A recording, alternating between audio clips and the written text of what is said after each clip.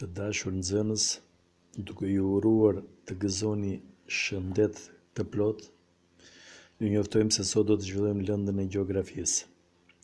Tema e sotme të cilën do të trajtojmë është harta e Shqipërisë. Kjo temë do të trajtohet në disa çështje kryesore.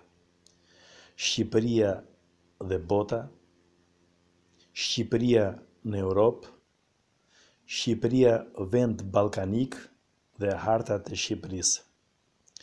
Le të fillojmë me çështjen e parë. Shqipëria në botë. Shqipëria është një vend me sipërfaqe të vogël, por më i dashuri dhe më i bukuri nga gjithë vendet për ne. Duke parë me vëmendje hartën e botës, Na shkon mendja menjëherë të gjejmë vendin tonë, atdheun tonë të dashur, Shqipërinë. Dhe me të drejtë shtrohet pyetja, a nuk na duket për një çast se ne jetojmë në qendër të rruzullit tokësor?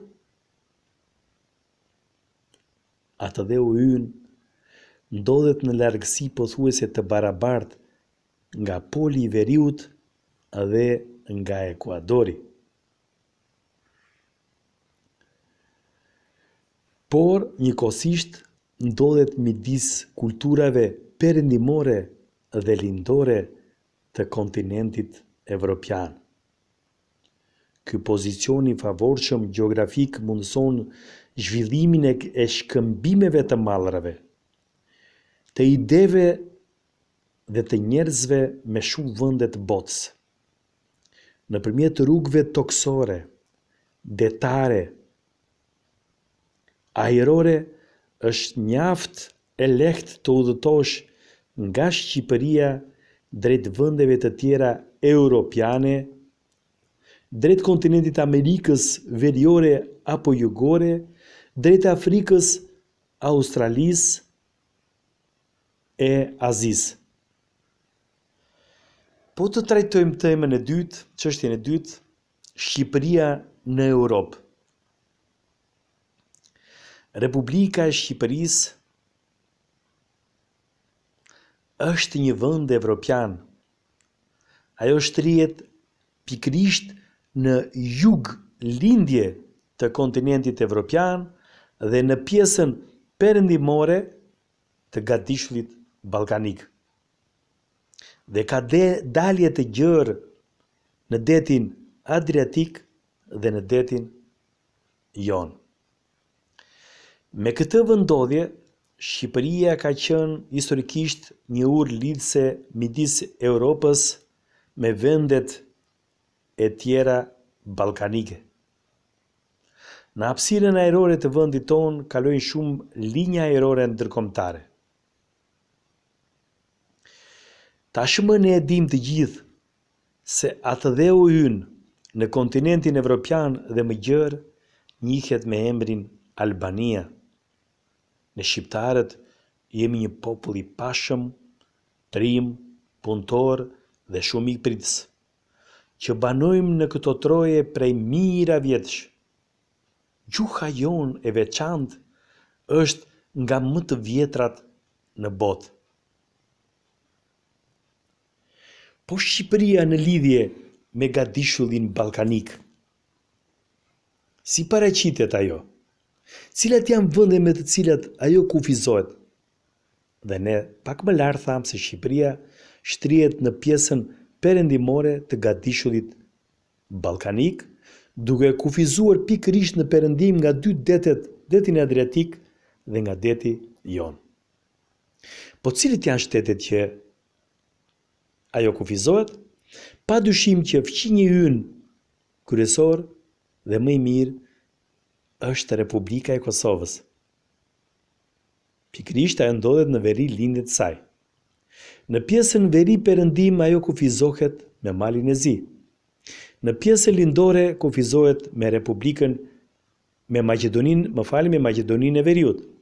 Ndërsa në jug dhe në juglindje ajo kufizohet nga Greqia.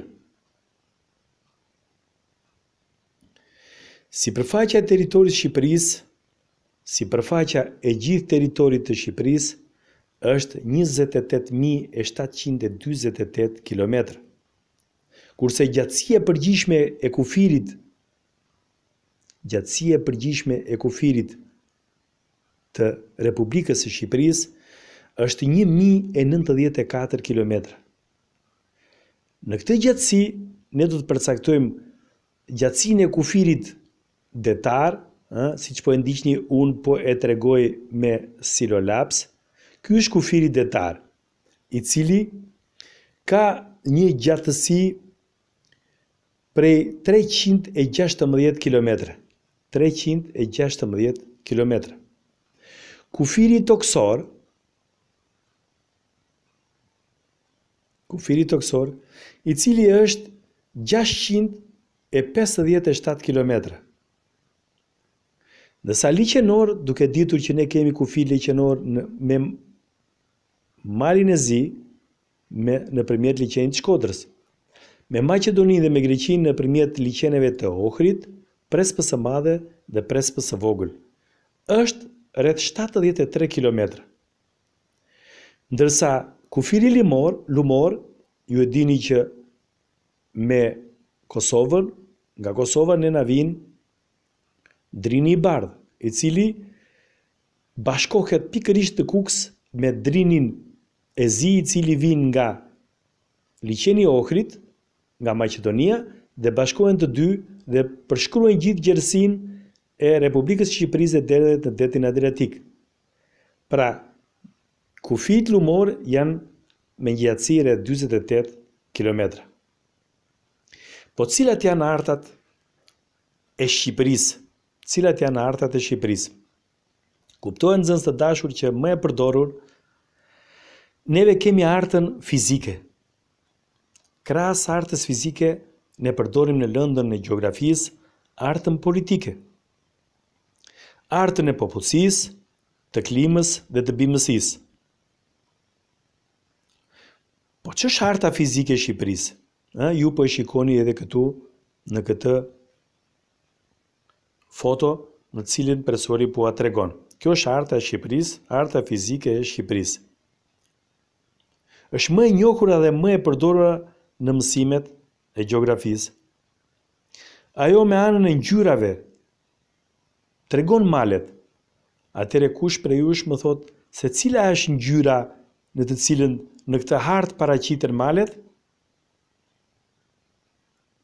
Po fushat, Me çfarë ngjyre paraqitet?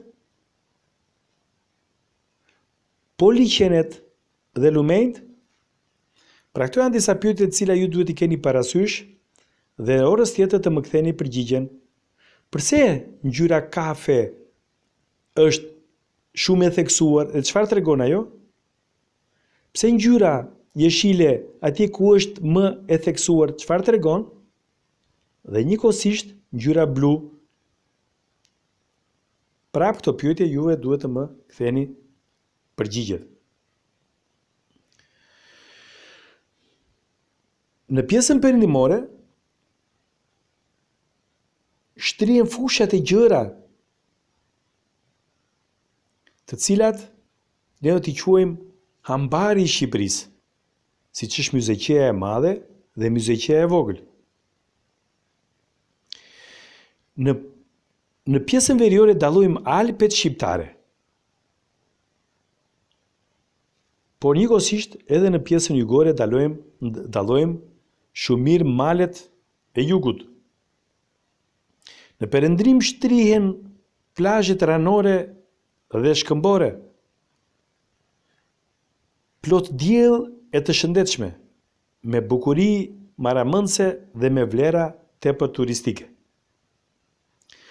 Nxënës të dashur, kjo ishte tema në të cilën ne trajtuam sot për Shqipërinë në këndvështrimin në raport me botën, në raport me kontinentin tonë evropian Dhe në raport me Gadishullin Ballkanik, ku ne jemi pjesë e saj, dhe njëkohësisht folëm edhe për hartat të cilat janë më të përdorshme në lëndën e gjeografisë.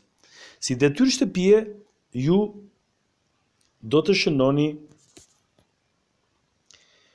çfarë duhet të bëjmë, çfarë duhet të bëjmë për zhvillimin e turizmit në të ardhmen,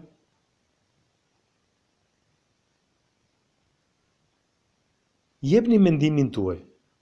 Ju falemnderit.